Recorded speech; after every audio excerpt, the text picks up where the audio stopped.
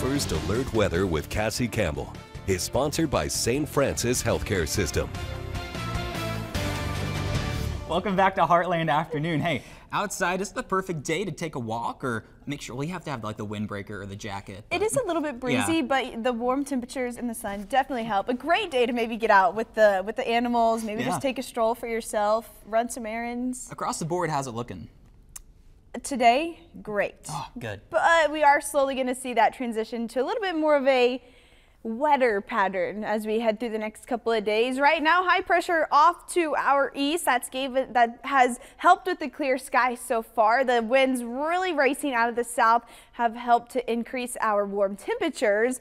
Now, this cold front is slowly going to start to drape into the heartland over the next couple of days, and that's going to bring us slightly cooler temperatures for your weekend, but also the chance for some stronger storms Thursday into Friday morning. I'll walk you through that in just a second, but for now, can see on our Doppler network, lots of clear skies. We are dry, it is sunny, and it is very mild out there. As we continue into this evening, clouds will slowly start to increase. Most of us are going to stay dry throughout today.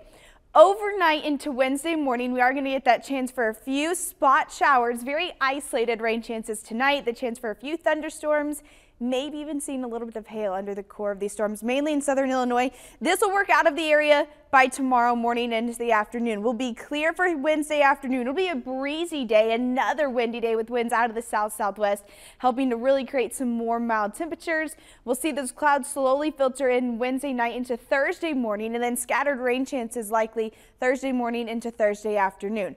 Our main concern is going to be Thursday evening into Friday. There is a chance for a few isolated strong storms for the heartland Thursday afternoon, Thursday evening through Friday morning. That being said, all of the heartland is under the level one out of five. This is a marginal risk for the chance for some strong to severe storms Thursday into Friday morning. Main threat damaging, damaging wind gusts and the possibility for some large hail. Lows tomorrow morning across the board. Pretty mild start to our day. We'll be in those upper 40s, lower 50s.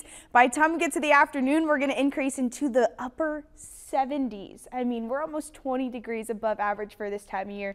Very warm day again tomorrow. We'll see those 70s stick with us Wednesday and Thursday with those breeze staying pretty, pretty gusty. Wednesday, Thursday, and really into Friday, but they're going to shift. They'll start coming out of the north as that front pushes through, bringing some more rain chances in again Thursday afternoon through Friday morning. Not a complete washout for your weekend. Most of the rain is out of here by Friday morning. We'll be dry for the afternoon. We'll drop down to the mid 60s Friday and Saturday. Slowly starting to feel that cooler air, more average for this time of year. Not a big drop by any means, but we will be back down to those 50s come Sunday with the chance of some more sunshine by the beginning of next week.